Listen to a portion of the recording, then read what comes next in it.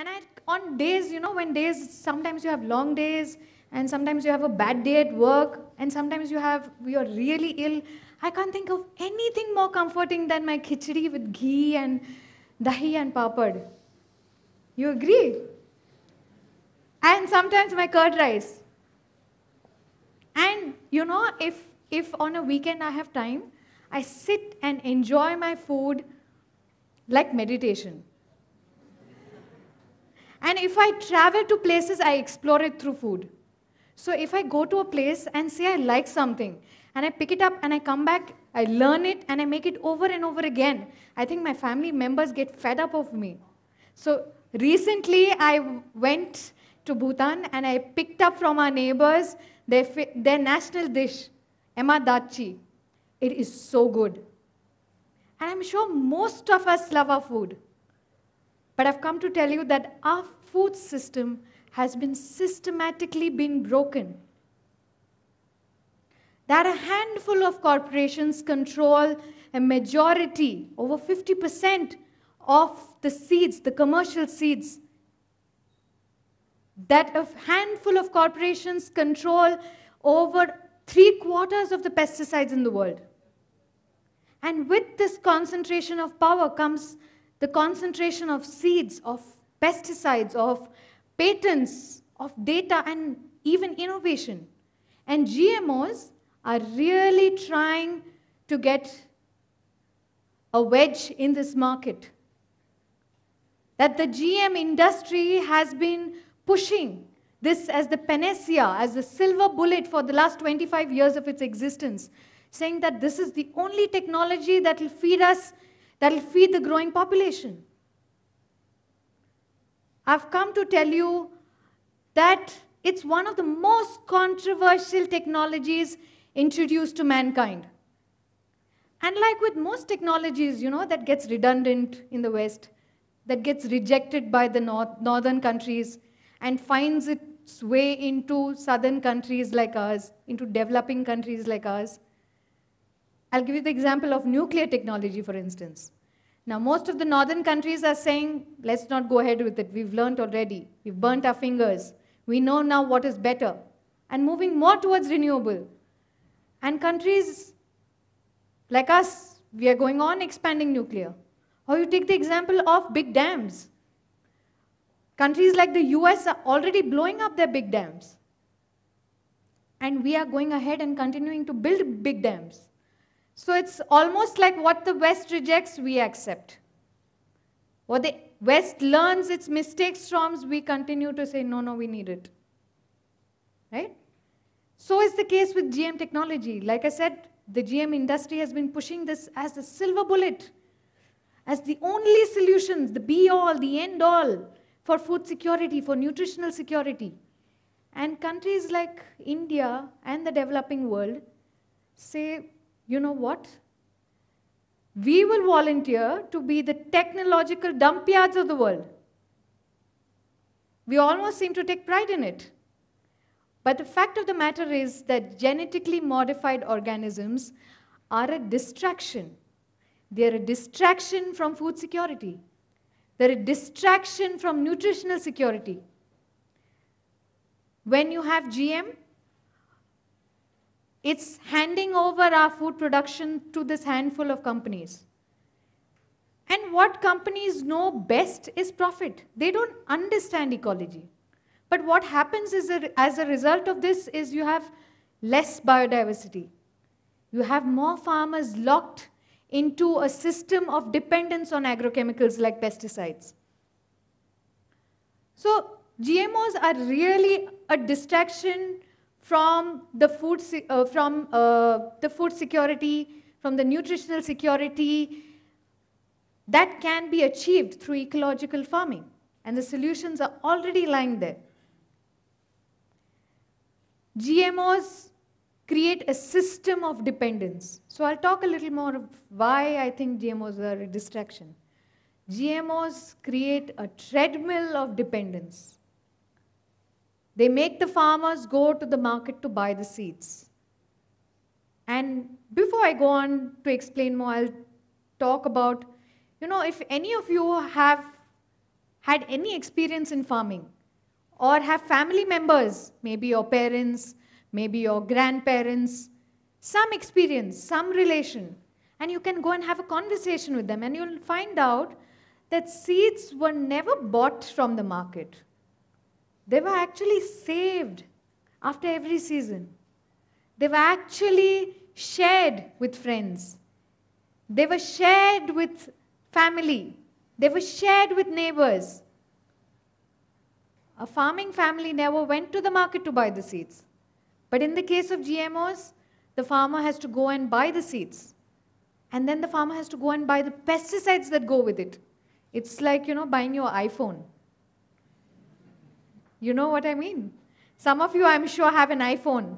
And then when you buy an iPhone, then, then you lose your charger. You have to go back to the iStore because no other charger will work. Or you need a pair of headphones and you have to go back to the iStore. Or then you need a converter and nothing else is going to work. You get the drift, right? So it's locking, in this case, the farmer into a system of dependence, onto a treadmill where he's constantly having to depend on the market to go back to buy, to buy, to buy.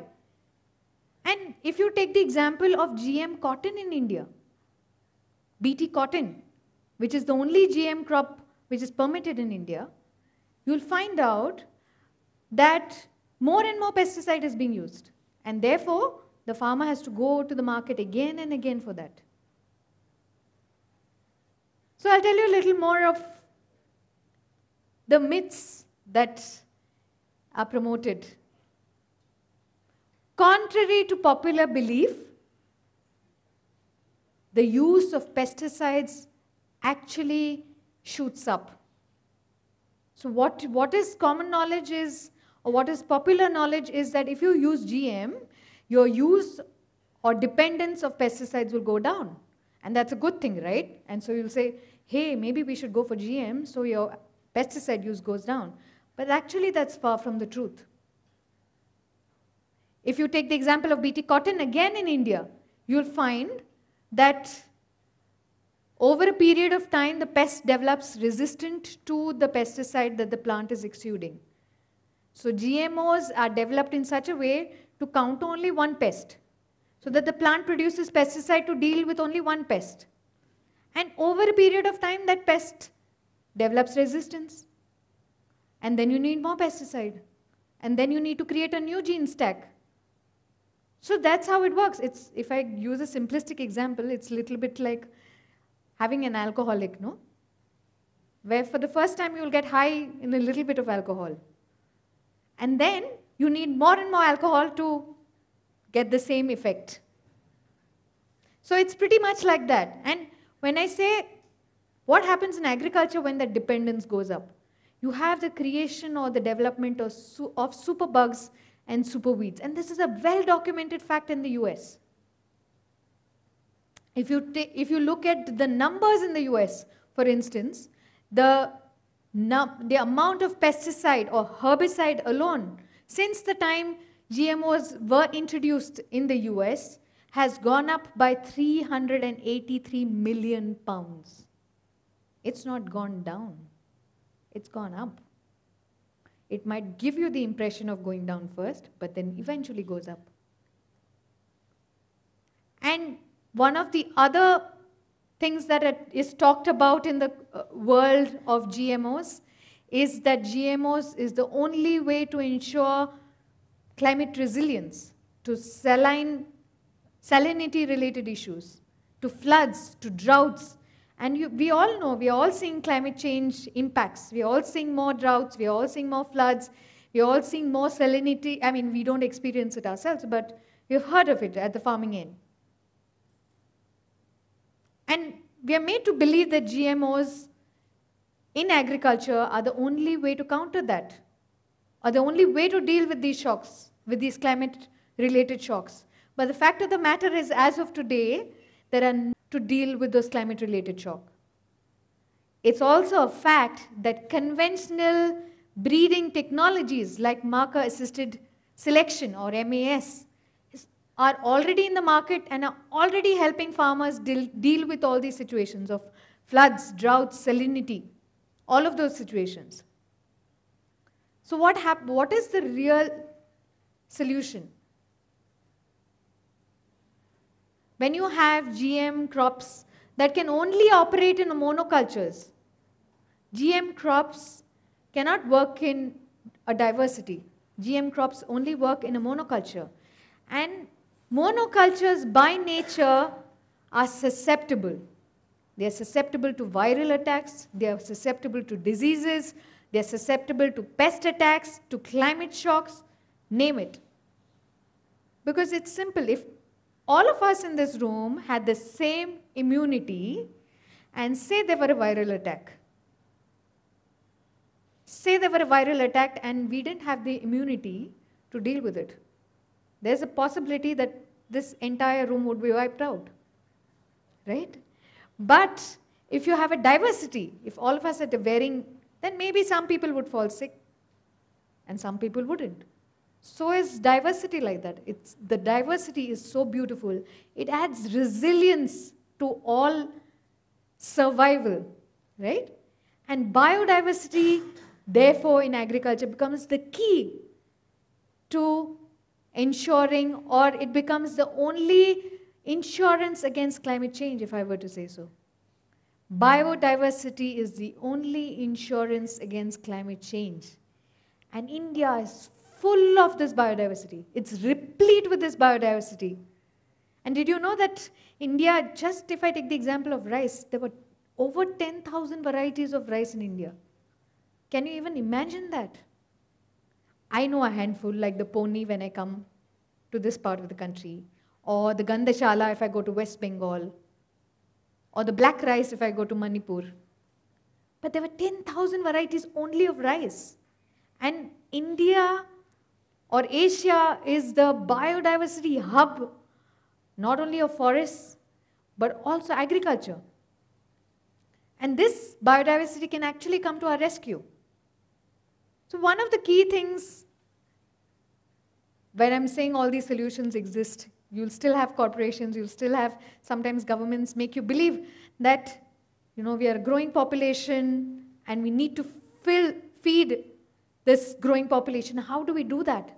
How do, do we do that? GMOs is the only long term solution. But I want to put it in a little bit of a context. In the context of actual food production as of today.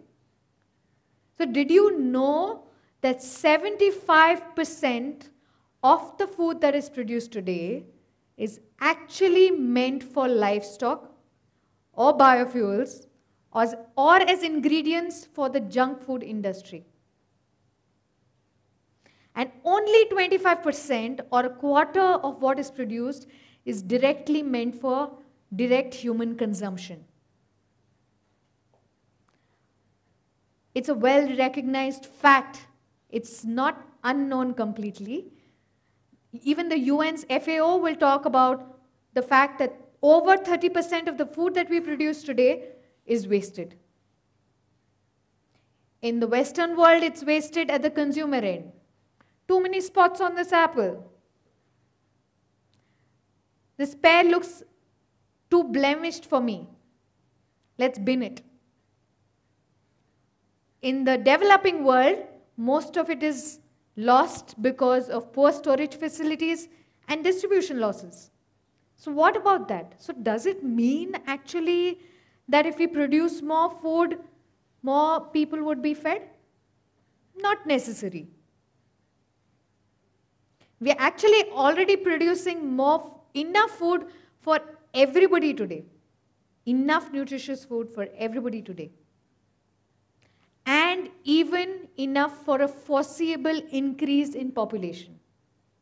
The only way we can ensure best guarantee for people to ensure uh, they have access to nutritional food and healthy food is to ensure availability, is to ensure affordability of a diverse and unprocessed food basket.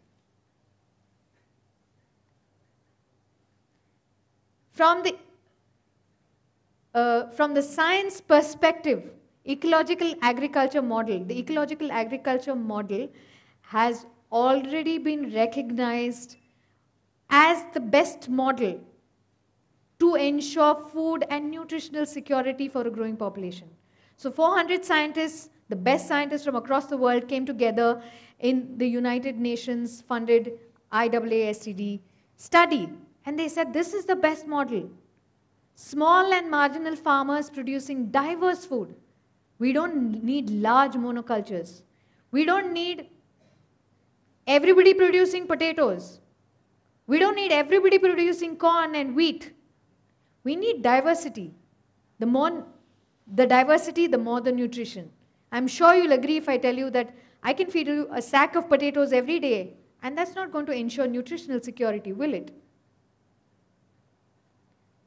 From, from the market's perspective,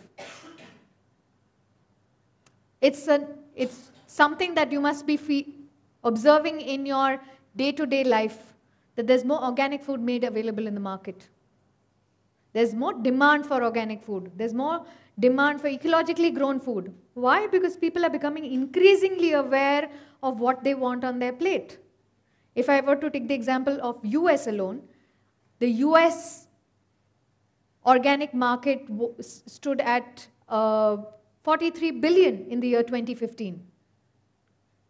And it, it's growing rapidly every year in every country. So far, GE has not lived up to any of the promises that the industry has made. That's a fact. And if we have to feed the world, we have to adopt ecological agriculture. Understanding the, the fundamental human right is the right to food. So it is possible to imagine a world where we grow more locally, where we grow without agrochemicals, it is possible that our farmers are actually compensated fairly and that all of us have abundant and healthy food. It's not a dream. In many pockets of the world, this model, this model which involves moving away a little bit from subsistence and moving away from the extremely destructive industrial farming towards a more holistic model it is possible that you have more knowledge sharing, that you use local seeds, that you, have more diversity, where you have a systems approach, where you know your trees will attract the birds that will eat the insects, and so on and so forth. And that love we owe ourselves. Thank you.